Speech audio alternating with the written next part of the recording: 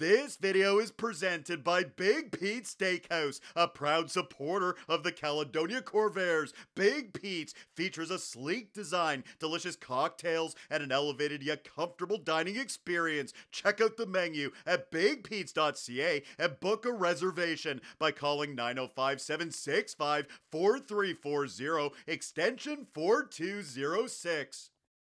It's a critical Game 5 in the Golden Horseshoe Championship Series. The Caledonia Corvairs and the Fort Erie Meteors all tied at 2 heading into Thursday's game in Caledonia. The winner moving into the driver's seat in the best of 7 series. And the game starts with a huge hit. Nathan Duplessis nails Jaden Flora. A solid check in the opening minutes. Later in the first, how about this shot from Braden Russell? He cuts across the middle, rips it, and scores. Russell with his second goal of the playoffs. He makes it 1 0 Caledonia. Second period now, the puck bounces to Zach Nahern. He's got a wide open net, but the goal is waved off for goaltender interference. You can see the referee waving it off immediately. It stays 1 0 for the Corvairs. Later, it's a good opportunity for Sam Tonelli. He comes in and fires. Finn Wilson gobbles it up and hangs on for a whistle. Still 1 0. Midway through the period now, it's a Caledonia power play. Jaden Lamel shot bounces to Stephen Laforme, and he puts it in. Big marker from Laforme. He gives the Corvairs a 2 0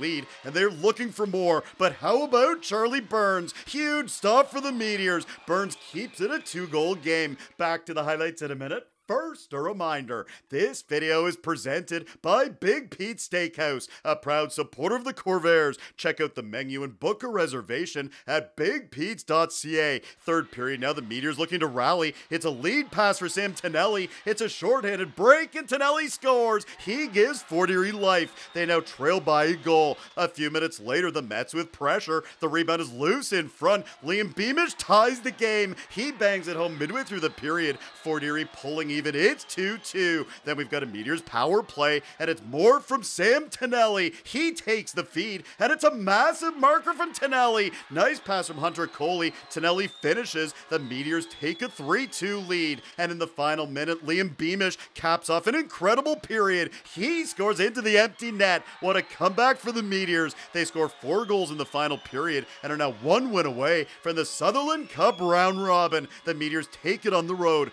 4 2 is the final on Thursday night.